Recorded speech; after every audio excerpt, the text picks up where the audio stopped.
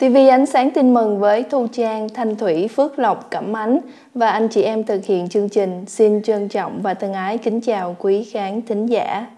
Xin kính chúc quý vị được tràn đầy niềm vui và an bình trong Thiên Chúa qua chương trình TV Ánh Sáng tin mừng. Hôm nay ngày 21 tháng Giêng năm 2018, theo lịch phụng vụ công giáo, hôm nay là Chủ nhật thứ năm mùa chay. Các lễ đặc biệt trong tuần này, thứ hai ngày 19 tháng 3, lễ thánh cả du xe bạn trăm năm Đức Trinh Nữ Maria, lễ trọng. Thứ sáu ngày 23 tháng 3, lễ thánh Turibio Monroveco, giám mục. Chương trình TV Ánh sáng tin mừng hôm nay gồm các tiết mục sau đây. Lời nguyện đầu giờ, sứ điệp tin mừng, thánh nhạc phụng ca, tin tức giáo hội hoàn vũ, tiết mục người công giáo trong thế giới hôm nay và sau cùng là phép lành hội thánh. Giờ đây xin kính mời quý vị cùng hiệp ý với chúng tôi dâng lời nguyện lên Thiên Chúa. Lạy Thiên Chúa Chí Thánh, ngàn trùng Chí Thánh, muôn ngàn đời Chúa vẫn chọn tình thương với chúng con. Xin giúp chúng con luôn biết tìm vinh danh Chúa trên hết mọi sự và tuyên xưng tình yêu Chúa cho mọi người bằng những cử chỉ yêu thương, bác ái, an ủi, trợ giúp những ai đang sầu khổ, buồn đau.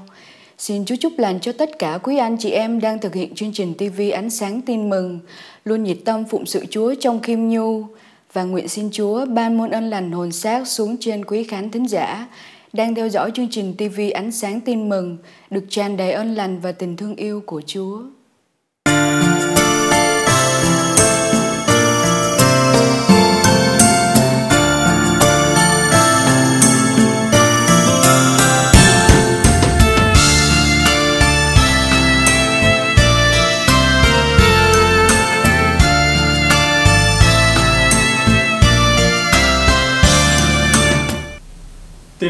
Chúa Giêsu Kitô theo Thánh Gioan. Khi ấy trong số những người lên dự lễ có mấy người Hy Lạp, họ đến gặp Philip quê ở Betania xứ Galilea và nói với ông rằng: Thưa ngài, chúng tôi muốn gặp Đức Giêsu. Philip đến nói với Andre, rồi Andre và Philip đến trình Chúa Giêsu. Chúa Giêsu đáp: đã đến giờ con người được tôn vinh thật, ta bảo thật các ngươi, nếu hạt lúa rơi xuống đất mà không thối đi, thì nó chỉ trơ trọi một mình. Nhưng nếu nó thối đi, thì nó sinh nhiều bông hạt. Ai yêu sự sống mình thì sẽ mất, và ai ghét sự sống mình ở đời này thì sẽ giữ được nó cho sự sống đời đời. Ai phụng sự ta, hãy theo ta. Và ta ở đâu thì kẻ phụng sự ta cũng sẽ ở đó. Ai phụng sự ta, cha ta sẽ tôn vinh nó. Bây giờ linh hồn ta sao xuyến và biết nói gì? Lạy cha, xin cứu con khỏi giờ này, nhưng chính vì thế mà con đã đến trong giờ này. Lạy cha, xin hãy làm vinh danh cha. Lúc đó có tiếng từ trời phán, ta đã làm vinh danh ta và ta còn làm vinh danh ta nữa. Đám đông dân chúng đứng đó nghe thấy và nói đó là tiếng sấm. Kẻ khác lại rằng, một thiên thần nói với ngài. Chúa Giêsu đáp, tiếng đó phán ra không phải vì ta, nhưng vì các ngươi. Chính bây giờ là lúc thế gian bị xét xử, bây giờ là lúc thủ lãnh thế gian bị khai trừ và khi nào ta được đưa lên cao khỏi đất, ta sẽ kéo mọi người lên cùng ta. Người nói thế để chỉ người phải chết cách nào?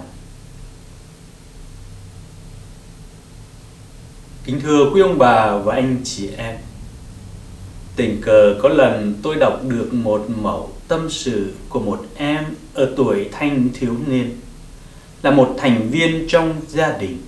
Khi còn bé em đã có thời gian gần gũi và luôn được bố cưng chiều. Nhưng khi càng lớn, càng hiểu chuyện, thì lại càng thấy thất vọng về người bố của em. Càng lúc càng có những ngăn cách giữa hai bố con. Tình thân ruột thịt bố con chẳng còn gì, trong lòng em chỉ còn sự thất vọng về một người bố mà đã có một thời em rất mực, thần tượng và quý mến thất vọng đến độ nó có thể xóa mờ tất cả những ký ức đẹp về người bố. Với em bây giờ, ông ấy không phải là người cha, người chồng tốt nữa, mà là một người khắt khe, bảo thủ, là một người bố vô trách nhiệm và cộc cằn, không còn quan tâm gì đến con cái. Tính tình thì cũng dễ nổi cáu, la lối, nóng tính, thiếu bình tĩnh với một chuyện nhỏ nhen và không biết lắng nghe. Đôi khi em cũng có ý tưởng trả thù bằng việc không nghe lời hoặc bỏ học. Nhưng vì nhớ lời Chúa dạy và biết làm thế sẽ hại cho tương lai chính mình nên thôi. Không biết từ khi nào mà người bố này đã có những thay đổi đến thế. Cha ông chúng ta có câu Hy vọng càng lớn, thất vọng càng nhiều. Trong bài tin mừng ngày hôm nay Chúa Giêsu tuyên bố Đã đến giờ con người được tôn vinh. Chính bây giờ là lúc thế gian bị xét xử. Bây giờ là lúc thủ lãnh thế gian bị khai trừ. Chúa Giêsu không ngừng lại ở đó mà còn nói rõ hơn cho các môn đệ biết cách thế nào Ngài bước vào vinh quang. Chúa Giêsu sẽ vào vinh quang qua khổ nạn thập giá và Ngài tự ví mình như một hạt lúa chịu tiêu hủy để rồi phát sinh nhiều hạt khác. Hôm nay, Chúa Giêsu đã báo trước Ngài sẽ dùng khổ nạn và thập giá để bước vào vinh quang. Quý ông bà và anh chị em có trải nghiệm nào trong xã hội mà quý ông bà và anh chị em đang sống trong đó. Hy vọng gì nơi một đảng cầm quyền, hy vọng gì nơi một xã hội này. Có khi nào quý vị thấy thất vọng nơi những điều mình đang kỳ vọng, đặt trọn cả hy vọng vào ai đó. Nay, những lý tưởng đó không được như lòng quý vị mong muốn. Trong khoảng 3 năm công khai rao giảng, Chúa Giêsu đã từng giảng dạy đưa ra những giáo lý và kèm theo những phép lạ cả thể. Các môn đệ có những kỳ vọng rất nhiều nơi thầy của mình một ngày nào rồi sẽ khôi phục nước Do Thái. Điều kỳ vọng này khá là bình thường. Đang bị kìm kẹp bởi ngoại bang, đang bị đô hộ bởi ngoại bang một chế độ mà đang cầm quyền thối nát, một người thủ tướng bù nhìn. Nay thấy một người xuất hiện Giáo lý thì mới mẻ. Người dạy lại có uy quyền. Ông ấy ra lệnh cho cả các thần ô uế Và chúng phải tuân lệnh. Hơn nữa Trong sách tông đồ công vụ có viết Thưa Thầy Có phải bây giờ là lúc Thầy khôi phục vương quốc Israel không? Thật dễ hiểu khi chúng ta gặp thấy câu hỏi này. Vì nếu chúng ta sống trong thời đại của các môn đệ mà gặp được Chúa Giêsu, chắc hẳn chúng ta cũng kỳ vọng nơi con người Giêsu này. Có câu chuyện vui vui kể rằng trong một bệnh viện tâm thần, các bác sĩ đều trị cho một nhóm bệnh nhân sau một thời gian. Muốn làm một trắc nghiệm để coi phương cách chữa trị có hiệu quả hay không? Bác sĩ dẫn các bệnh nhân đến trước một hồ tắm rộng nhưng dưới đó không hề có một giọt nước. Bác sĩ nói, hôm nay các anh được ra đây để tắm mát cho thỏa thích vì từ lâu mọi người chưa được hoạt động ngoài trời như thế này. Vì bác sĩ vừa dứt lời thì tất cả bệnh nhân nhảy xuống hồ hò hét vui vẻ và biểu tỏ sự vui vẻ như đang được tắm hồ nước thật. Có người lại còn khoái chí, khua tay như một tác động đang bơi. Vì bác sĩ lộ rõ vẻ thất vọng trên gương mặt. Đang thất vọng, định quay đầu bỏ đi, thì thấy một bệnh nhân không xuống hồ tắm, mà đứng trên bờ nhìn xuống và mỉm cười vì bác sĩ mừng quá, lòng mừng thầm, ít ra thì cũng còn một tia hy vọng dù sao thì cũng chữa được một người. Vì bác sĩ đến bên người này và hỏi, Sao? Anh không xuống tắm với các bạn cho vui? Anh ta từ tốn trả lời Em cũng thích xuống tắm lắm Nhưng em không biết bơi Sợ xuống nước bị chết chìm Theo Chúa Giêsu chỉ dựa theo những gì mình nghĩ phục vụ Chúa Giêsu và giáo hội theo kế đồ riêng thì không thể nhận ra Chúa Giêsu thật, không nhận ra Ngài là một Thiên Chúa thật. Các môn đệ đã quá chú trọng vào những ước muốn riêng khiến cho các môn đệ không nhận ra lời tiên báo về cái chết thảm thương của thầy Giêsu mà chỉ nghĩ đến vinh quang, nghĩ đến những phép lạ cả thể mà thầy đã làm, khiến cho các môn đệ ước mong một ngày sẽ được chút chức quyền và danh lợi. Khi nghe thầy tuyên báo đã đến giờ con người được tôn vinh, chính bây giờ là lúc thế gian bị xét xử, bây giờ là lúc thủ lãnh thế gian bị khai trừ. Ai mà chẳng thấy mát lòng. Nhưng những sự ấy chỉ đến sau khi chịu chết. Sống trong thời đại tân tiến này, ai ai cũng cần có đồng tiền, thấy đồng tiền có sức mạnh, thấy đồng tiền có thể làm được quá nhiều chuyện. Ngay cả lòng người mà đồng tiền còn có thể biến đổi, ngay cả pháp luật mà đồng tiền cũng có thể bẻ cong. Sức mạnh của tiền có uy vũ đến thế mà đem so với những giá trị tinh thần và tâm linh, những hiệu quả của đời sống cầu nguyện, những nhân đức mà phải dày công luyện tập mới có được, những giá trị của cầu nguyện chay tịnh hãm mình thực hành bác ái thật chẳng là gì so với đồng tiền nếu không có cái nhìn đức tin. Thật, thế gian coi đồng tiền có sức cuốn hút biết bao. Nếu quá kỳ vọng vào đồng tiền, một ngày khi chúng ta nhận ra đồng tiền không mua được sức khỏe, đồng tiền không mua được hạnh phúc gia đình, đồng tiền không mua được đức tin, bạn sẽ làm gì?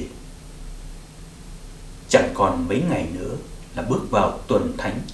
Xin cho mỗi chúng ta biết đặt niềm tin tưởng vào những giá trị thiêng liêng, giá trị tinh thần như giáo hội đã khuyên mời. Hãy ăn năn sám hối, tận dụng thời gian mà cầu nguyện, ăn chay hãm mình, làm việc phúc đức nhận ra sự bền vững của những nhân đức và những của cải thiêng liêng mà quyết tâm hơn trong những ngày cuối của mùa chay thánh này lạy chúa, xin mở mắt cho chúng con, đừng để chúng con chỉ nhìn vào những vinh quang mà quên đi thực tại mà mỗi người phải luôn tiếp tục chiến đấu với thể xác ma quỷ và thế gian. Xin cho chúng con đừng phớt lờ những đau khổ, những trái ý xảy ra trong ngày, nhằm giúp chúng con biết đón nhận trong bình tĩnh và tin tưởng. Amen.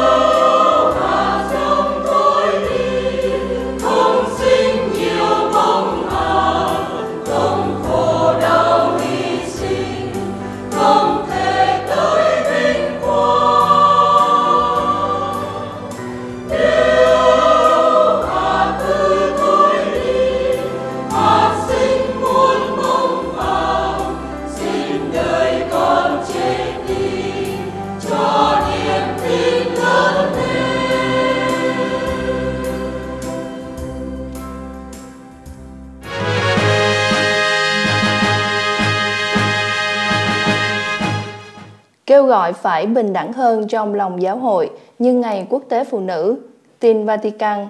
Hôm thứ Năm ngày 8 tháng 3 vừa qua, nhân Ngày Quốc tế Phụ nữ, cha Luke Hansen, dòng tên, đã nói lên mối quan ngại về sự bất bình đẳng trong giáo triều Roma đối với nữ giới, vì vai trò của phụ nữ trong lòng giáo triều Roma vẫn còn quá giới hạn.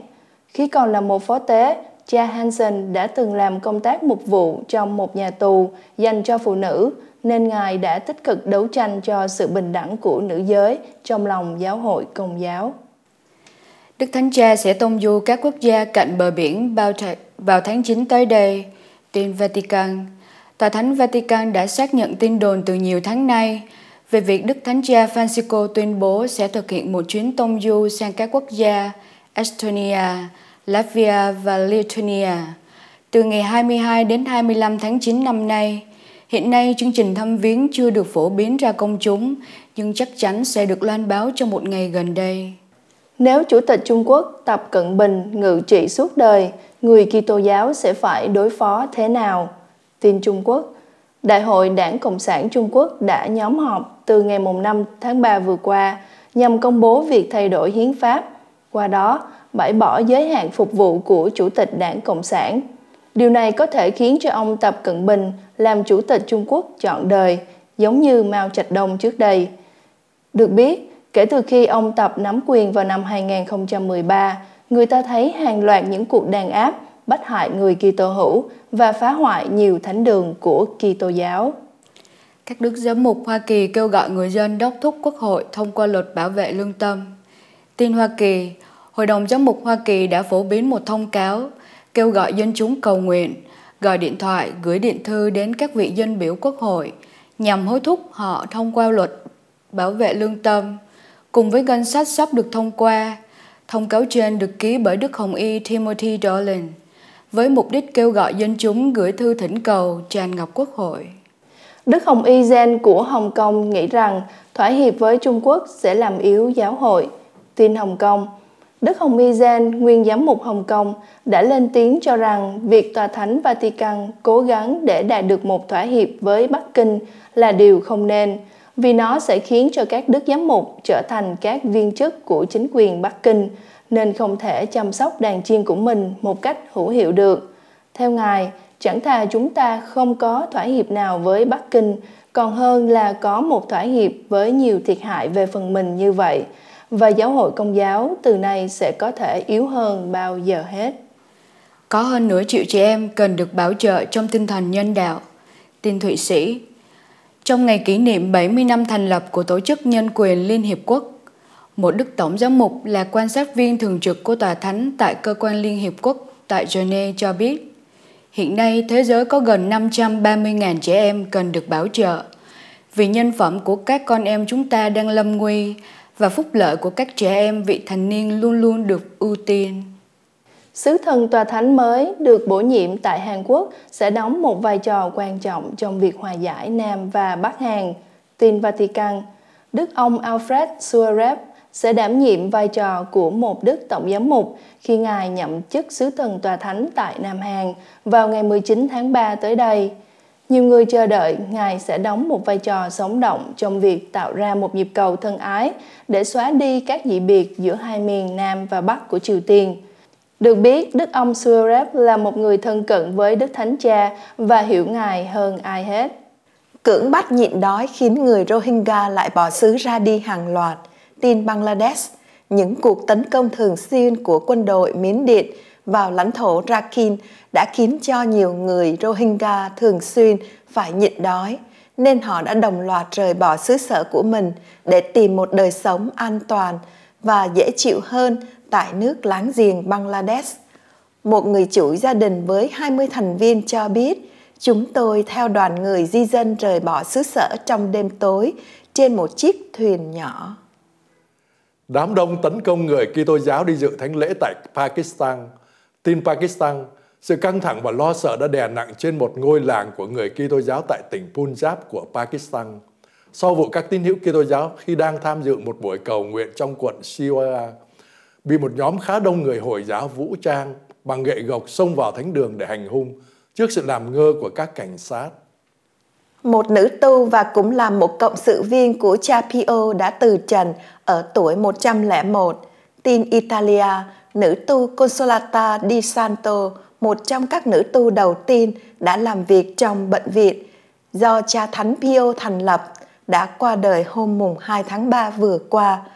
Thọ tuổi 101, Sơ Consolata đã vào dòng các tông đồ thánh tâm năm 1936, nhưng sau đó Sơ quyết định phục vụ người bệnh tật tại nhà săn sóc sự đau đớn do Thánh Pio sáng lập. Theo một phúc trình của Tổ chức Nhân quyền Liên Hiệp Quốc, năm 2017 là năm nhân quyền bị trà đạp thô bạo nhất tại Việt Nam. Tin Việt Nam, theo một báo cáo của Liên Hợp Quốc thì chính quyền Cộng sản Việt Nam đã có những hành động thô bạo đối với những người bảo vệ nhân quyền một cách tồi tệ nhất trong năm 2017. Theo đó, năm 2017 là năm mà nhân quyền bị trà đạp thô bạo và tồi tệ nhất, khiến cho hàng chục người bị giam giữ bất công và bị đánh đập bởi các tên du côn của chính quyền đội lốt. Các tổ chức phá thai được chính phủ tài trợ nhiều hơn chúng ta tưởng. Tin Hoa Kỳ, theo một báo cáo mới nhất, thì ba tổ chức phá thai lớn nhất tại Hoa Kỳ đã nhận được hơn 1,5 tỷ Mỹ Kim từ tiền thuế của người dân trong 3 năm qua, với một phần lớn dành cho tổ chức kế hoạch hóa gia đình của quốc gia. Từ năm 2013 đến năm 2015, các tổ chức phá thai đã nhận 410 triệu Mỹ Kim từ ngân sách liên bang tài trợ và 1,2 tỷ Mỹ Kim là tổng hợp của cả tiểu bang và liên bang. 70 năm hữu nghị giữa Do Thái giáo và Kitô giáo trong nước Pháp. Tin Vatican, các tín hữu Kitô giáo và Do Thái giáo tại Pháp Quốc đang hân hoan kỷ niệm 70 năm ngày thiết lập tình hữu nghị với nhau, được thành lập ngày 26 tháng 2 năm 1948. Sau khi Thế chiến thứ hai kết thúc, Tổ chức Thân hữu Kitô và Do Thái giáo tại Pháp đã gìn giữ sợi dây liên lạc liên tôn giáo này ngày càng bền vững hơn giữa công giáo, tin lành và Do Thái giáo. Các phụ nữ làm việc trong lĩnh vực truyền thông đại chúng tại Trung Quốc bị quấy nhiễu tình dục. Tin Hồng Kông, hôm thứ Tư ngày 7 tháng 3, trước Ngày Quốc tế Phụ nữ, đã có hơn 80% các phụ nữ làm việc truyền thông tại Trung Quốc đã được phỏng vấn trong một cuộc nghiên cứu cho biết rằng họ là nạn nhân của nạn quấy nhiễu tình dục nơi sở làm.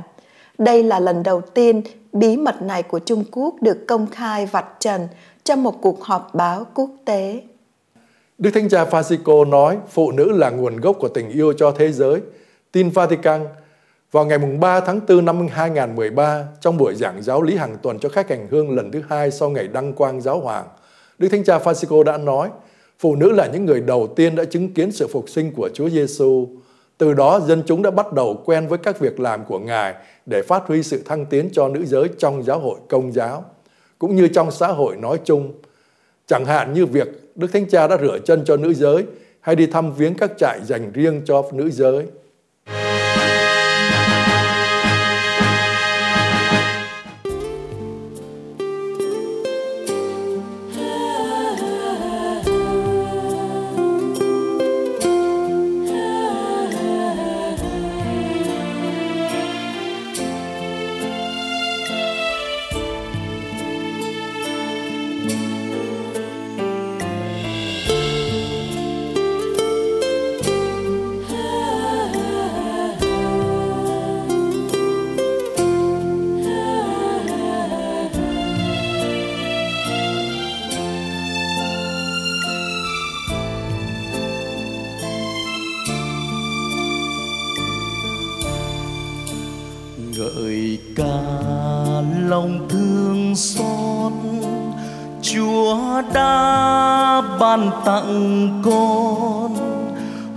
Với trái tim tư nhân, còn tin thác nơi ngài.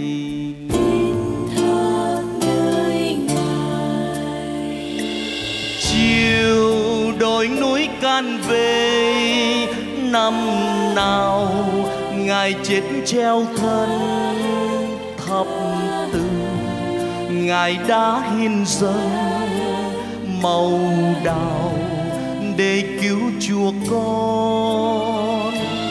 Và dòng suối yêu thương tràn hòa từ trái tim cha, tuôn tràn, tẩy xóa đi bao lỗi tôi tái sinh đời con.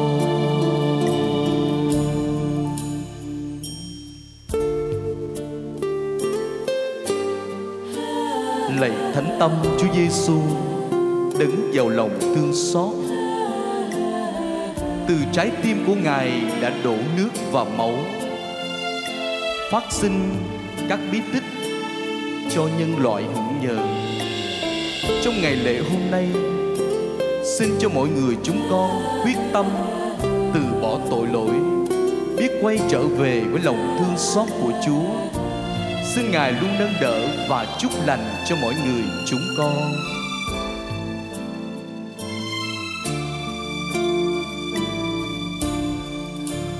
Ngợi ca lòng thương xót, chúa đã ban tặng con hơi trái tim từ nhân. Con tin thác nơi ngài.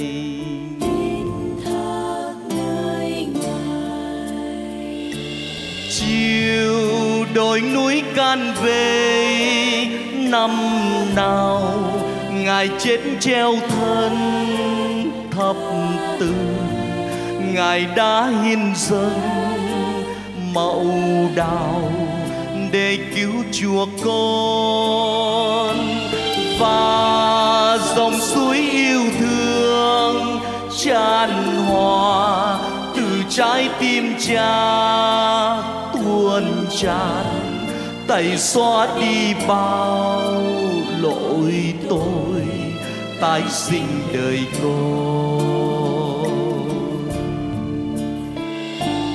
Và dòng suối yêu thương tràn hòa, từ trái tim cha tuôn tràn tẩy xóa đi bao lỗi tôi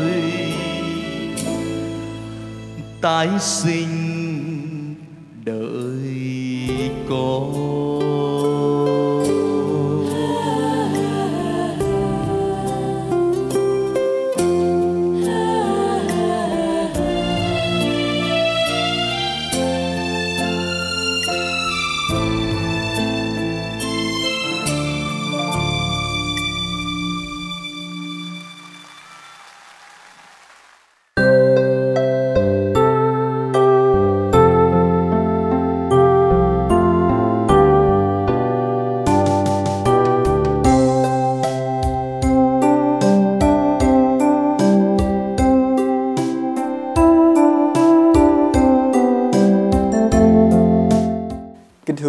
khán thính giả của đài TV Ánh sáng tin mừng và Radio Đức Mẹ Hằng cứu giúp. Ngày hôm nay chúng ta cùng trở lại với chương trình Người tín hữu hôm nay trong thế giới hôm nay.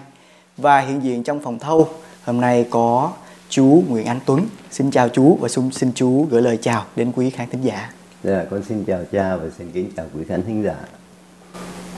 Ngày hôm nay không biết rằng à, chúng ta sẽ à, chia sẻ với nhau về đề tài nào thưa chú? Dạ. Ờ, chắc là cha với quý khán thính giả cũng biết là trong mấy tuần vừa qua chúng ta có cái vụ mà nổ súng giết chết 17 em học sinh ở Florida đó.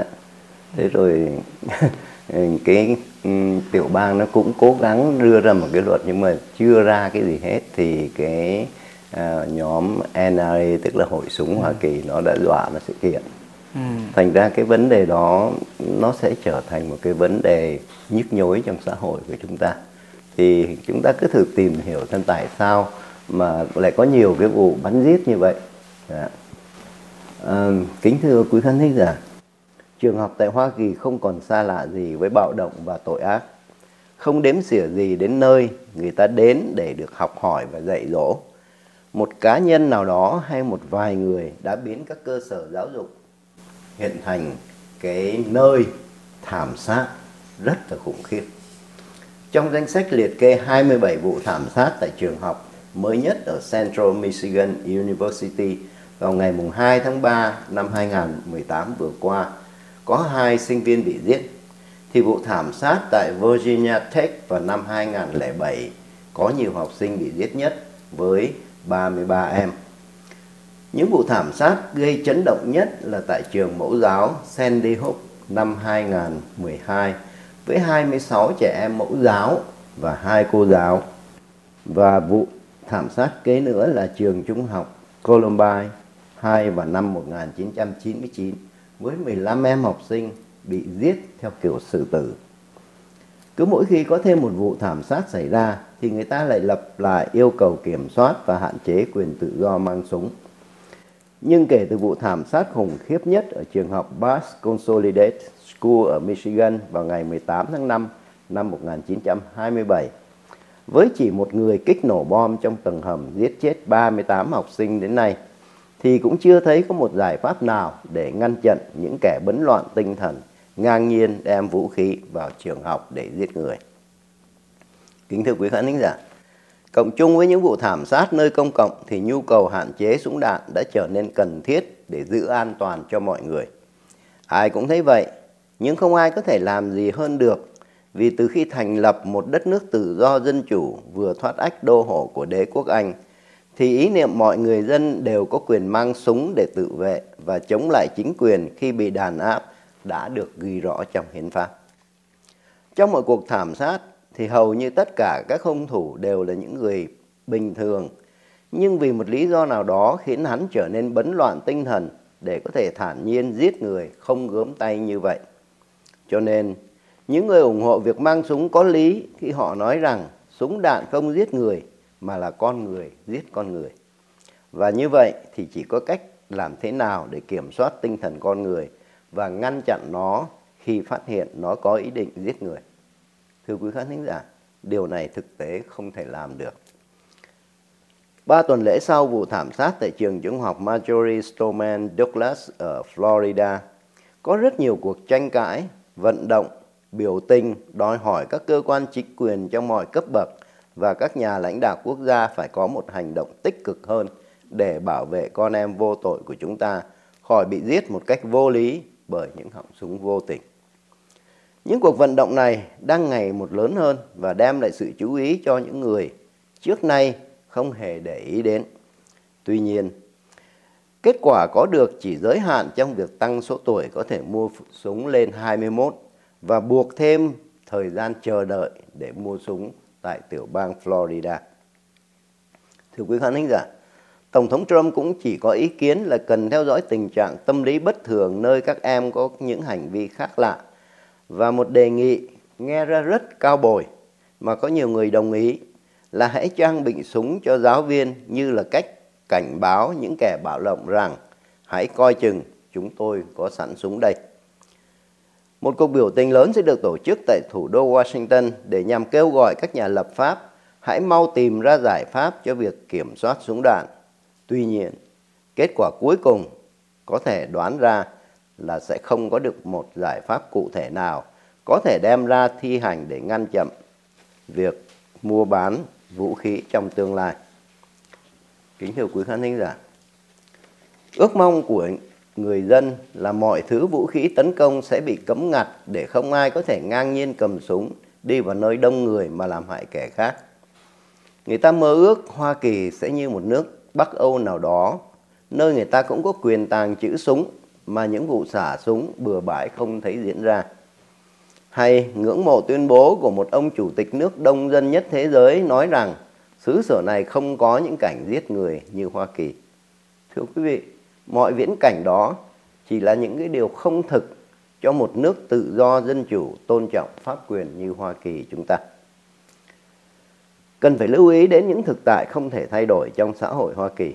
Thứ nhất là quyền mang súng của mọi người dân đã được ghi rõ trong tu chánh án thứ hai. Nếu cấm súng thì phải sửa đổi hiến pháp và như thế chẳng khác nào làm một cuộc cách mạng thay đổi chế độ. Thứ hai, mọi người dân có quyền tự do làm bất cứ điều gì họ muốn miễn không xâm phạm đến người khác và họ được kể như vô tội cho đến khi có chứng cớ rõ ràng. Kính thưa quý khán thính giả, chúng ta có thể nguyền rủa những tổ chức mua bán vũ khí, nhục mạ những kẻ vận động hành lang quốc hội để kiếm tiền qua việc ngăn chặn mọi cố gắng kiểm soát vũ khí hay những kẻ đại diện dân tham lam, hèn hạ, nhắm mắt làm theo lệnh của những kẻ sản xuất vũ khí. Nhưng chúng ta không thể buộc họ phải thay đổi, ngoại trừ khi lương tâm của họ nhận thức được sự sai trái trong hành vi của họ. Chỉ có một cách duy nhất để ngăn chặn mọi hành động thảm sát, chẳng những nơi trường học mà cả những nơi công cộng là phải có một xã hội được giáo dục, không phổ biến những hình ảnh trò chơi mang tính bạo động, không khuyến khích những hành vi anh hùng rơm, không đề cao quá đáng tự do cá nhân để người ta ý thức đến cuộc sống trách nhiệm cộng đồng. Các bậc phụ huynh cần phải để ý đến con em mình nhiều hơn. Xã hội phải tạo thêm điều kiện để cha mẹ có nhiều thời gian sống với con em cho đến lúc trưởng thành. Tất cả những điều này dường như đã không dễ tìm thấy trong xã hội Hoa Kỳ hiện nay và hậu quả thế nào chúng ta đã thấy. Thưa quý khán thính giả, thật ra cũng dễ ngăn chặn các vụ thảm sát sắp tới nếu như trường học được đặt trong một khuôn viên biệt lập. Mọi người muốn vào phải qua một hành lang dài, một chiều với mọi thứ máy móc điện tử có thể phát hiện kim loại và những mắt thần có thể đọc được tư tưởng con người là những cái điều kiện có thể thực hiện được trong thời đại này. Thưa quý khán thính giả, nhưng cái ngôi nhà ấy có còn được gọi là trường học không? Hay trở thành nên một nhà tù? Thành ra cái vấn đề mà các em ở cái nơi học đường đó bị thảm sát hay là bị ngược đãi hay về một lý, lý do gì rất là khó ngăn chặn nếu như cái tình trạng súng ống vẫn còn được ừ, buôn bán như thế này và cái tình trạng súng ống đó chắc chắn sẽ không có thể chấm dứt được thành ra vấn đề là tự gia đình chúng ta tự xã hội chúng ta. Chúng ta phải tự mình làm sao nhớ đến các con em nhắc nhở chúng nó và để ý đến những bạn bè của nó nữa. Thành ra à, cái đó là cái điều rất là khó khăn và có lẽ cái điều trên hết chúng ta phải cầu nguyện. Chúng ta cầu nguyện cho xã hội của chúng ta ý thức được cái cái việc ừ, bạo động súng ống là cái điều rất là đáng kinh tởm. Và chúng ta cầu nguyện Thiên Chúa ban bình an cho tất cả chúng ta.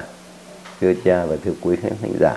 Và có cái điều nó buồn cười là cái tòa cái quốc hội Florida vừa mới dự trù ra một cái luật để kiểm soát súng đạn thì chưa kịp ký ừ. thì cái hội bảo vệ súng ống họ đã dọa sẽ kiện. Thì chớ bị thì mới thấy là cái sức của những sức mạnh của những cái người có tiền trong tay nó nó quan trọng như thế nào thưa cha và vâng. quý khán ninh ạ vừa nghe lại cái thống kê yeah. Dạ. là chú vừa nói ừ. về một cái gọi là cái giai đoạn yeah. rất dạ. dài mà phải nói rằng là nước Mỹ chúng ta phải ngỡ ngàng yeah. Dạ. bởi vì cái sự mà gọi là thảm sát ở trong trường học là một điều không thể chấp nhận được vâng. đó là một điều mà mình phải nói rằng là các trẻ thơ vô tội mà vâng. làm sao lại có thể mà xảy ra được nhưng mà có lẽ cái nguồn gốc nó cũng bắt nguồn ở chỗ là những cái người mà đang tâm giết các em đó thì chắc hẳn rằng à, trong cuộc đời của những người đó cũng đã phải trải qua một cái gì đó à, vâng. phải là cũng đau thương lắm yeah. nên mới có một cái suy nghĩ không bình thường không yeah. giống người như vậy đó à, cách đây cũng khá lâu khi à, con có cơ hội gọi là làm tuyên úy cho một nhà tù yeah. của các em gọi là vị thành niên đó yeah. tuổi từ 13 cho tới 17 tuổi thì một hôm khi mà vào gọi là chia sẻ với các em gặp gỡ rồi nói chuyện thì ở trong đấy mình vô mình thấy toàn là các em nhỏ nhỏ nhỏ 13 14 tuổi ừ. à các em da màu cũng có à, Việt Nam mình thì không có à, dạ. cảm ơn Chúa điều đó và có đến chia sẻ là một em à, người da đen thì em ta chia sẻ cuộc đời của em như thế này đó là em sinh ra trong một gia đình. Người mẹ à là một cô gái điếm. Ừ. và ông bố thì đã bỏ gia đình từ khi em còn rất bé. Và bà mẹ thì nghiện ngập. À, và rồi thì cứ phải đem khách về. Yeah. Dạ. đó về ngay tận nhà. Rồi cái đứa bé nó chứng kiến cái cảnh này mỗi ngày. Và nó chia sẻ rằng đó là cái ngôi nhà đó không còn là nhà nữa mà giống như một cái hỏa ngục vậy. Mẹ nó mỗi lần mà gặp nó là chửi mắng. Mày là thằng súc sinh. Đó. Xong rồi nó phải làm gì? Nó chạy ra ra ngoài để mà nó chơi với lại chúng bạn Yeah. để mà nó giải tỏa cái nỗi buồn. Nhưng mà ở cái khu ổ chuột mà toàn là những bạn xấu không à. Yeah. và khi như vậy đó thì nó được dạy cho gọi là hút sách nè rồi đi bán cần sa nè và bắt đầu bị bắt bắt vào tù. Và mới có 16 tuổi mà ở tù hết 3 lần. Và mỗi lần em chia sẻ đó là khi mà bị bắt vào tù đó nó muốn làm lại cuộc đời. Đó, nó cố gắng muốn làm. Mà khi mà nó trở về lại cái khu ổ chuột đó với người mẹ đó thì chứng nào vẫn tật nấy nó không tìm được một cái lối giải thoát. Yeah. và cái lần thứ ba này thì có hỏi em thế thì cái lần này em có có nghĩ rằng em sẽ vượt qua được cái thử thách đó không để làm lại cuộc đời? Nó nói rằng quá khó đi. Không thể bởi vì cái môi trường của tôi sống đó là như vậy khi tôi về đó bây giờ thì tôi nói dễ lắm. Mà khi bước vào cái môi trường đó tôi biết rằng mình coi như là sẽ sẽ đi ngựa quen đường cũ. Yeah. đấy. Chỉ là một câu chuyện rất nhỏ để cho thấy rằng cái môi trường sống nó quan trọng như thế nào. Nó có thể biến một con người tốt thành một con người xấu rất dễ. Nếu như mình đặt trường hợp của mình vào trong cái trường hợp của em đó có người mẹ như vậy thì không biết rằng bây giờ đang ở nhà tu hay là ở trong nhà tù đây nó không nói được. Và ngày hôm nay chúng ta khi chia sẻ về một cái vấn đề phải nói là một cái vấn nạn như vậy thì mình nghiệm ra được một điều này. Đối với lại à, nhiều quý khán khán khán giả chúng ta nơi đây để làm một cái người gọi là công dân tốt mình không giết người mình không phạm pháp là một điều cũng dễ phải không ạ? Không có khó. Nhưng mà có những trường hợp chẳng hạn như là cái em đó sinh vào một cái môi trường quá bi đát như vậy thì em đó phải cố gắng chiến đấu mỗi ngày mỗi giây mỗi phút để trở thành người có nghĩa là công dân tốt thôi chưa nói là một người đạo đức thánh thiện. Là một cái gì đó nó khó lắm và nhiều khi không làm nổi. Đấy chúng ta ngày hôm nay khi mà mình nhìn à, nhìn lại những cái biến cố đau thương xảy ra trong cuộc đời à, của những em nhỏ đã bị giết hại như vậy mình cũng phải đặt làm câu hỏi là tại sao có những những người lại trở thành một con thú như vậy.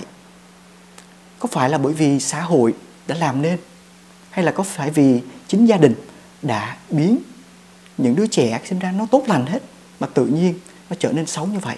Mình phải đặt câu hỏi. Thì không biết rằng theo như những nghiên cứu của chú như vậy thì cái ảnh hưởng của gia đình bây giờ đó trong cái thời đại này khác với thời đại chúng ta ngày xưa nó ảnh hưởng lớn như thế nào chú. Thế thì chứ phải nói là rất là lớn thôi cha tại vì bây giờ gia đình cha mẹ rất là bận rộn không có thì giờ để mà trông nom các em. Rồi nhiều khi mang con đến trường rồi bỏ nó đến ngày giờ đón thôi. Rồi trên đường về nhiều khi những đứa trẻ thì có thể là cha mẹ có thể nhưng mà những đứa mà nó teenage rồi nè nó đi lang thang trên những cái phố đường phố như vậy cái đó rất là rất là nguy hiểm.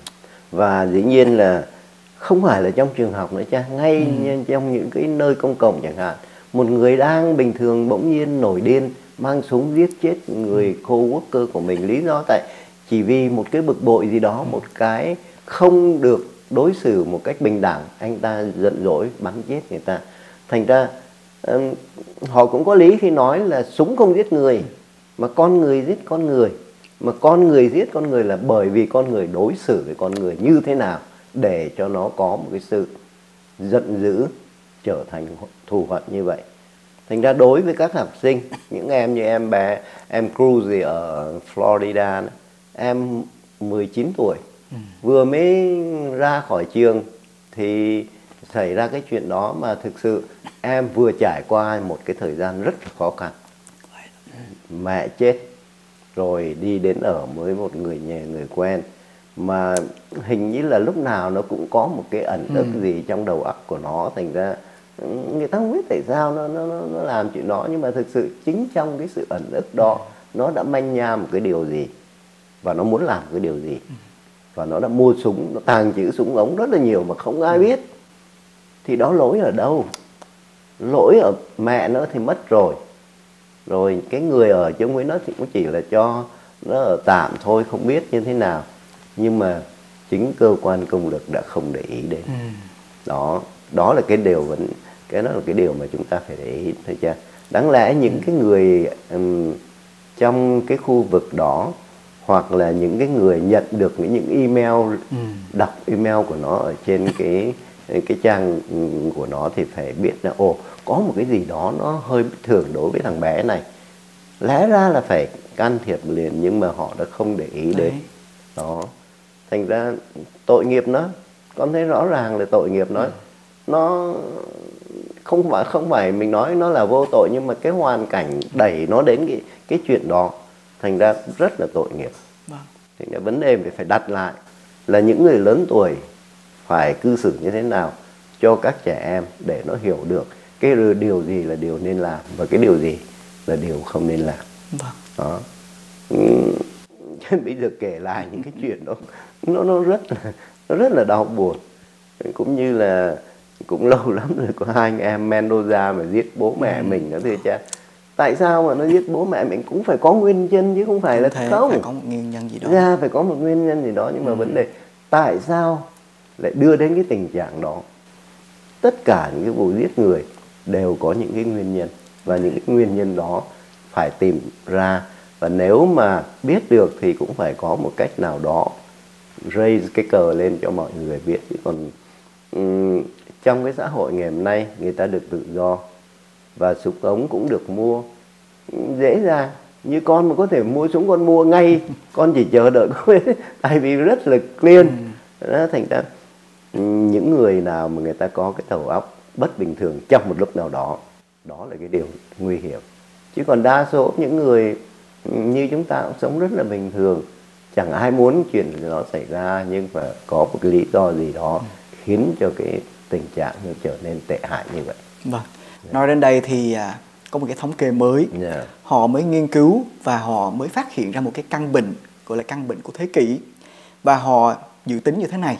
Vào khoảng cỡ năm 2020 Yeah. thì căn bệnh này có thể là ở tầm thứ nhất hoặc thứ nhì, thứ nhì. À, cái độ nguy hiểm đó đến chết người đó. Cái căn bệnh đó không phải là bệnh sida hay là bệnh cancer nhưng mà gọi là căn bệnh trầm cảm. Yeah. Đó. Và người ta ước tính như thế này là thí dụ 10 người mà tự tử hay là thậm chí là súng ống vô giết như Yeah. vậy đó thì hết 5 người là mắc phải căn bệnh này. Và có một cái người gọi là bị bệnh trầm cảm depression họ chia sẻ như thế này là khi mà tôi mắc một cái chứng bệnh như vậy đó thì tôi nhìn thế giới nó không còn là màu sắc gì nữa, chỉ còn có màu xám thôi. Màu xám của u buồn. Và chung quanh tôi toàn toàn là một cái vẻ u sầu. Và ở trong đầu óc nó có một cái tiếng nói tại sao mày không kết liễu cuộc đời mày đi để giải thoát cái nỗi buồn? Đấy cái căn bệnh này nó càng ngày nó càng phát triển trong một cái thời đại mà phải nói rằng rất là giàu có. Yeah. và phải nói rằng rất là tiện nghi ha. Yeah. thì họ đặt một câu hỏi là tại sao vậy? Ngày xưa nó không có nhiều mà bây giờ tại sao nó quá nhiều? Nó mới đi lại à, một cái nữa. Là khi mà con người đó họ đặt cái tự do cá nhân quá cao. À, và khi mà họ chỉ sống hay là chỉ được xã hội dạy đó là cứ thỏa mãn đi. À cứ sống à, tìm những cái thú vui đi. Đó thì những cái đó nó đem lại cho một cái cái bản thân con người đó là khi mà những cái thú vui nó không còn nữa những cái gọi là bất hạnh nó đến hay là những cái gì đó thử thách đến thì họ không còn tìm thấy cái ý nghĩa trong cuộc sống và họ nghĩ một cái hướng khác mình kết liễu cuộc đời này đi. Và có những người họ hận cuộc đời thì họ lại chút cái nỗi hận đó trên người khác. À có thể nói rằng là trường hợp các em đấy lấy súng và bắn rồi giết nhau cũng có thể là các em đó đã vào cái tình trạng gọi là bị Depressed, trầm cảm và không có một lối giải thoát và các em đã nghe theo cái tiếng à, cái tiếng gọi là cám dỗ đó Yeah. và đã phạm tội đấy. Yeah. gọi là cái thế giới ngày hôm nay của chúng ta đấy là một thế giới phải nói rằng như là Chúa Giêsu đã tuyên báo trước đây 2.000 năm. Ta đến để mang ánh sáng vào trong trần gian này nhưng mà thế gian đã đã không chuộng ánh sáng. Là bởi vì thế gian đã yêu mến bóng tối nhiều hơn. Bởi thế Chúa mới bị giết là như vậy đấy. Họ yêu chuộng những cái gì đó là của xác thịt của những đam mê. Họ không thích sống trong sự thật bởi vì sự thật nó nó làm cho họ được phơi bày những cái xấu xa của cái xã hội này. Bởi thế mình cứ nhìn vào trong xã hội nhìn vào trong những cái xảy ra chung quanh hàng ngày của chúng ta. Cái gì ở trên tivi đây? Toàn là những thứ mà chúng ta thấy là về gọi là vật chất về xác thịt. Nào là hãy mua chiếc xe này đi bạn sẽ cảm thấy rất là hạnh phúc. À hãy làm một cái điều này đi đi vacation bạn sẽ được điều rất là hạnh phúc. Đấy những cái mà xã hội nó đang cho con em của chúng ta đó là những cái thứ chóng qua của đời này. Và những thứ ấy khi mà con em của mình nó nghĩ là cái cùng đích và nó tìm kiếm những cái thứ thỏa mãn nó chạy theo những cái đó khi mà nó được rồi đó thì nó chỉ cảm thấy sự trống vắng. Là bởi vì những thứ ấy không có Chúa trong đó. Đó là một cái thách đố phải nói rằng trong một thế giới ngày hôm nay một thế giới mà phải nói rằng là họ muốn đẩy Chúa ra ngoài lề của xã hội. Đó. Thì không biết rằng là Chúa có cảm thấy điều đó đang xảy ra ngay trong chính gia đình của chúng ta vâng hay thực không? sự là như vậy. Đi đâu cũng nghe nói Ừ. là depressed depressed mà thực sự cái chuyện đó nó nó có thật chứ không phải không đâu. Thành ra cái điều mà cha nói cái thống kê đó con nghĩ là đúng và đó là một cái lời cảnh cáo cho chúng ta trong cái xã hội ngày này nếu mà cứ để cho cái thời, thời thượng nó lôi Ừ. kéo thì không biết là đi đến đâu. Và khi không được thì tự, tự nhiên là nó nó thành trầm cảm thôi. Đúng thế dạ. à vâng thời giờ cũng à, có hạn. À, chúng ta vừa chia sẻ với nhau về một cái thảm trạng xảy ra trong cuộc sống ngày hôm nay. Và phải nói rằng có thể là vẫn còn đang tiếp diễn nữa bởi thế chúng ta là những bậc phụ huynh chúng ta hãy cố gắng nâng đỡ đời sống tinh thần của các em nhiều hơn là đời sống vật chất. Hôm nay người ta nói rằng để làm quan đó nó Yeah. dễ hơn là làm người. Đó. Yeah. mà làm người đó còn dễ hơn là làm bố mẹ. Bậc làm phụ huynh ngày hôm nay rất khó là bởi vì phải là một mẫu gương để hướng dẫn cho con cái nên người. Bởi thế xin chúa nâng đỡ tinh thần của quý phụ huynh. Bởi vì gia đình bắt đầu từ bố mẹ trước. Đó. à, và giờ thời giờ chắc cũng có hạn. Giờ đây xin chú à, cùng với lại quý thính giả chúng ta dâng một lời nguyện để xin chúa chúc lành cho à, chúng ta chúc lành cho xã hội ngày hôm nay. Lạy chúa chúng con cảm tạ chúa ban cho chúng con biết bao nhiêu ơn lành trong cuộc sống. Nhưng nhiều lúc chúng con đã không nhận ra ơn sủng chúa và chúng con đã bỏ quên thời giờ để chạy theo những của cải vật chất những đam mê để chúng con quên đi bổn phận làm cha làm mẹ hướng dẫn con cái của mình. Xin chúa nâng đỡ đức tin chúng con để chúng con biết dành nhiều thời giờ hơn cho con cái và từ gia đình. Xin cho xã hội này được trở nên tốt hơn. Và giờ đây xin Đức Chúa toàn năng là cha và con và thánh thần ban phúc lành cho anh chị em. Amen. Chương trình TV Ánh Sáng tin mừng xin được kết thúc nơi đây. Chúng tôi xin chân thành cảm ơn quý khán thính giả. Xin quý cụ, quý ông bà và quý anh chị em tiếp tục thương yêu, nâng đỡ và yểm trợ cho TV Ánh Sáng tin mừng để chúng tôi có phương tiện phát triển chương trình ngày một lan rộng hơn. Mọi ý kiến đóng góp và xây dựng xin liên lạc về TV Ánh Sáng tin mừng 2458 Atlantic Avenue, Long Beach, California 90806 điện thoại 562 988 7997, điện thư tv at tvastm.net.